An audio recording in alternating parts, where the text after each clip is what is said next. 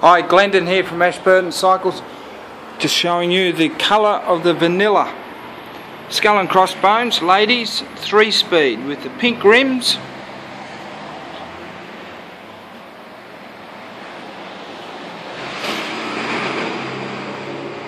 This one's already had a basket on for a customer. But it looks really nice in the flesh amongst the other skull and crossbones